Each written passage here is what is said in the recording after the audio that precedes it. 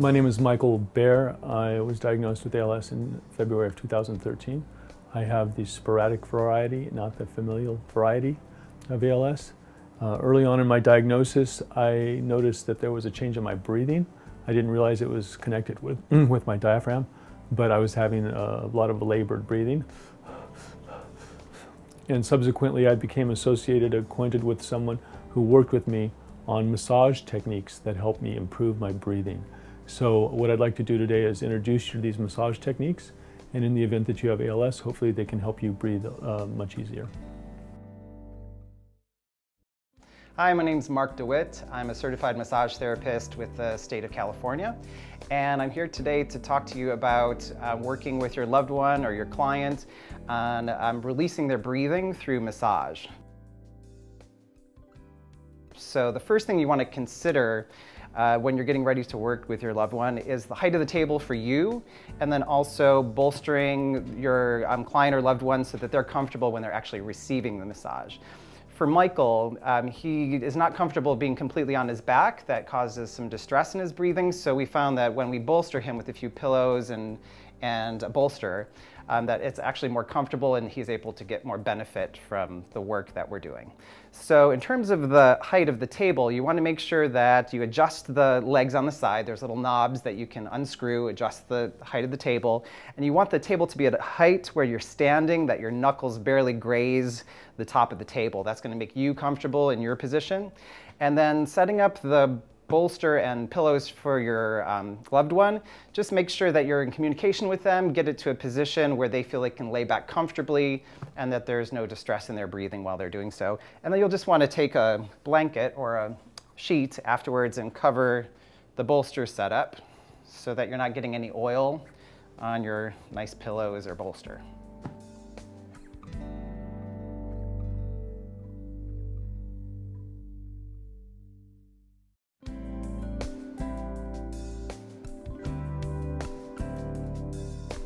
In a lot of ALS clinics, you'll hear a lot of discussion around the diaphragm in regards to breathing.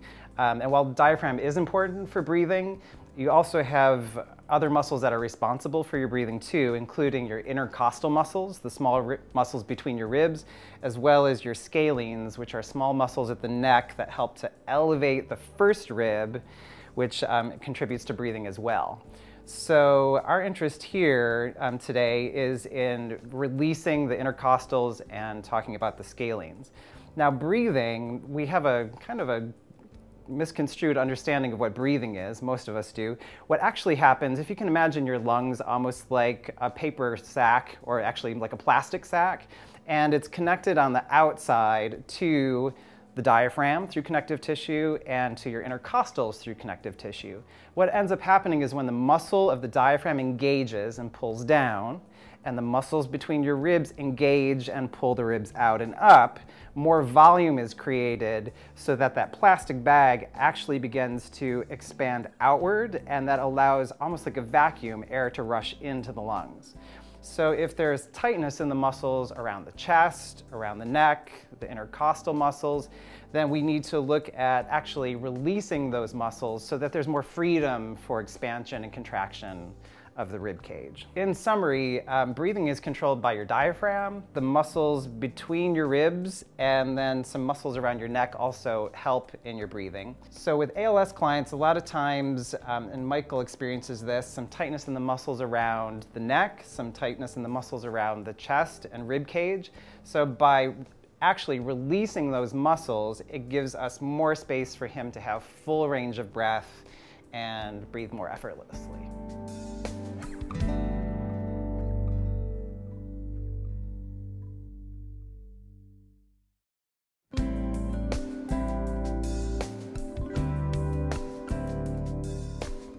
We'll start with a few techniques that you can use with your loved one to help improve their breathing. The first of which is called effleurage. And effleurage is just kind of a, a very superficial stroke that um, you can do across the front of the chest and shoulders and neck. I'll talk about it a little bit as I'm doing this. Um, I'm using oil. Um, some people prefer to use lotion, but the anything that has the least amount of chemicals, I'm all about that. So if you can use oils, that's even better. And the technique here is just getting full hand contact with the body. You'll notice I'm kind of starting here at the chest and then doing a stroke across to the shoulders, up the back of the shoulders towards the neck. And this basically, this stroke is about warming up the tissue so that when we get ready to do some deeper work, he's ready for that and we're not just racing right into more um, difficult techniques. And you can play with this. There's no right or wrong on this. You can come to the shoulders and do little circles at the shoulders. All sorts of good work to be done there, just kind of warming up the tissue as I mentioned. You can also do this from the side at the center of the chest and take it from right at the sternum, which is the center of your chest, right up towards the shoulder. You can do that both hands. You can kind of alternate one hand and the other. Biggest thing is just get hand contact with your loved one. They're going to love it. Just one stroke at a time. And take your time with it. Really feel the um, tissue, the skin underneath your hand. And your general idea is that you're just trying to open, like if you think of the chest muscle running from here to here, you're just trying to lengthen that chest muscle and open some space around the chest. So effleurage is your first action. I'll do that again on the other side so you can see it. From center of chest, across. Just notice I'm kind of shifting my body side to side here too. If you want to get technical, I'm really kind of moving this from my hips so that it's nice and easy and not difficult in my body while I'm doing it, because if it feels good in my body, it'll probably feel good for him. So that is effleurage. That's our first action. So as you're working with your loved one here, you can do maybe five to 10 strokes um, in each area. Michael likes more, so you can definitely go longer with that if you'd like. It should be a very just relaxing, soothing um, part of the massage. And to recap it, basically, um, effleurage just helps to warm up the muscle tissue so that he's ready for a little bit deeper work when we get into doing our next actions, which are really specific um, actions to help release specific muscles. So again, this is sort of your intro, just kind of getting in touch with their body and starting to warm things up so that they're ready for deeper work. Again, just have fun with it. There's no right or wrong on this, just warming up the area.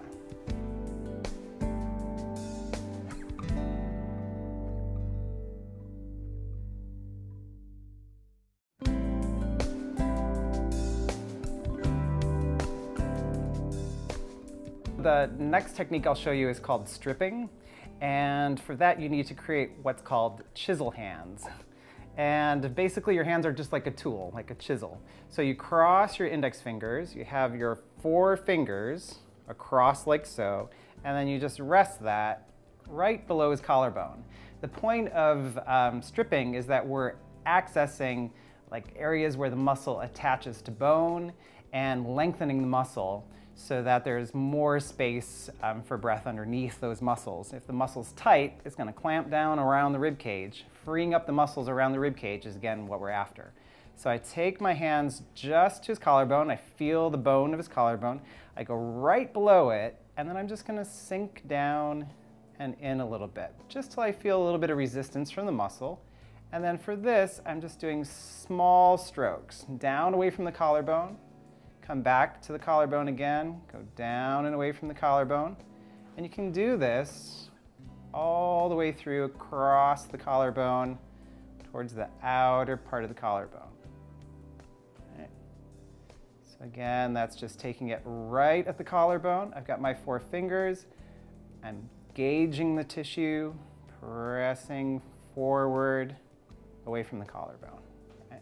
Show that on this side as well. Engage the tissue right at the collarbone. Draw into the tissue, pressing it away from the collarbone. Just little circles. You engage, draw a circle, come back to the collarbone, engage, draw a circle. This same technique you can use back at the chest again. So you remember this stroke we did was effleurage, right, where we were working this way that same line that you're traveling, you can do your chisel hands. So again, you place your four fingers, index fingers crossed, You just feel the tissue under your hands. You're just going to let your hands sink down and in.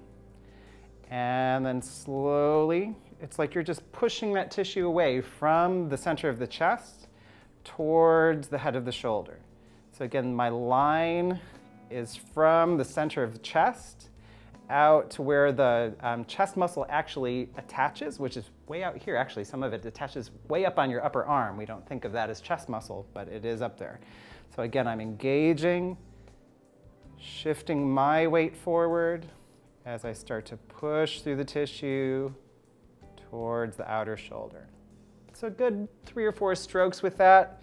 You can go to different parts of the chest. You can go up a little bit higher to do that. Again, this is all going to feel good, so don't be tentative about it. They'll tell you, just be in communication. If something doesn't feel good, they'll let you know. And we're working across the chest that way. And we'll take that other side. Come to the center of the chest. Get your chisel hands. Engage the tissue. Shift your weight forward. You're pushing the tissue towards the shoulder. I'm effectively taking that chest muscle and lengthening from one end to the other, from where the chest muscle attaches to the rib cage, here at the center, out to its insertion point, which is the end point of the muscle out at the shoulder. So that is our chisel hands. And between these, if you want to throw in a couple effleurages, they'll love that too. So again, in um, summary, chisel hands, stripping, is about just engaging the beginning of the muscle and lengthening and releasing all these little attachments, places where the chest muscle um, meets the bone. So that's our intention with this work is to kind of free up some of that muscle tissue where it meets bone and also create length, like when we were doing this stroke, lengthening, lengthening, lengthening, opening that chest muscle? And that's our stripping.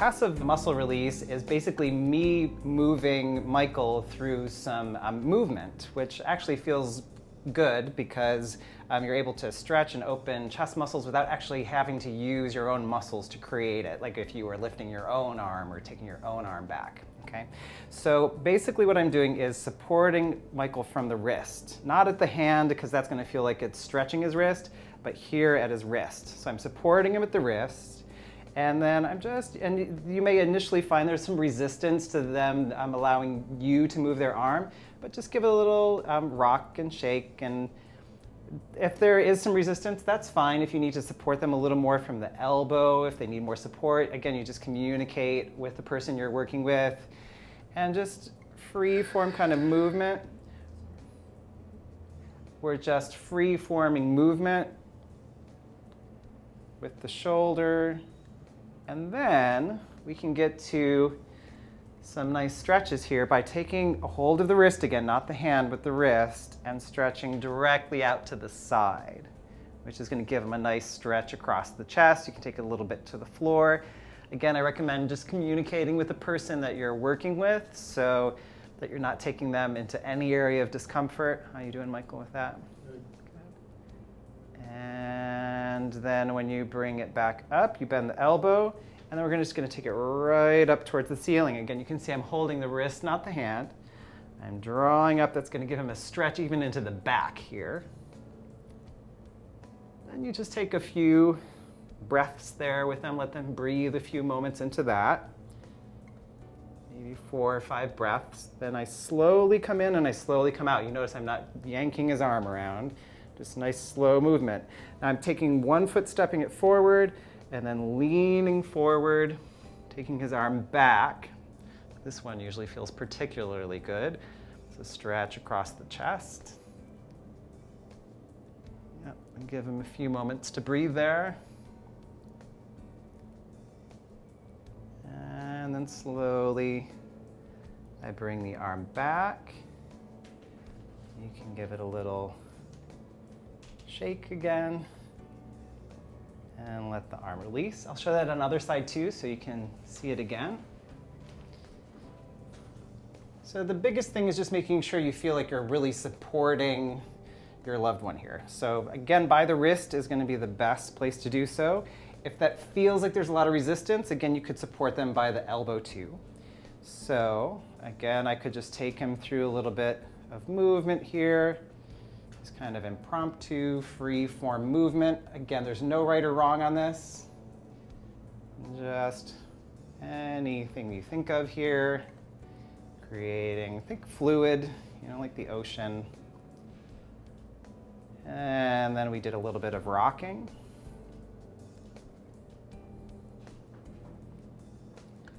And then facing towards the head of the table, I have a hold of the wrist and I'm taking a step out to the side to open the chest.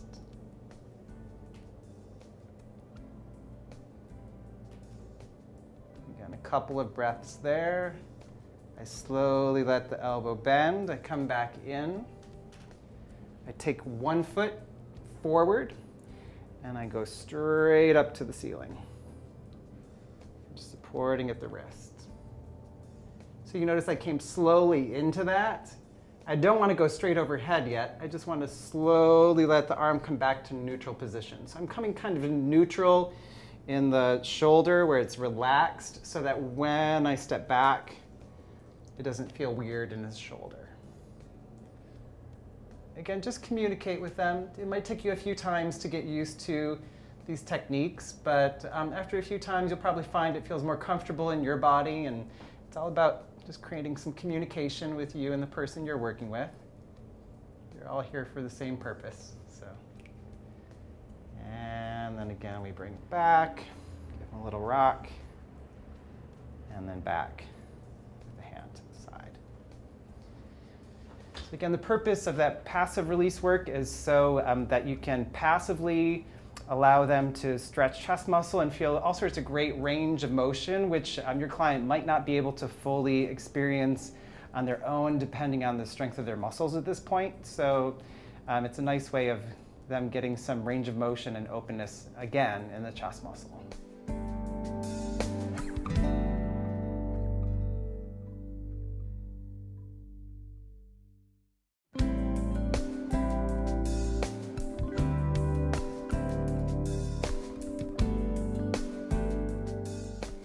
The ribs, what we're looking for is the intercostal muscles. Now, when we were talking about breathing, we mentioned that there's muscles between your ribs called your intercostal muscles, which help with the breathing.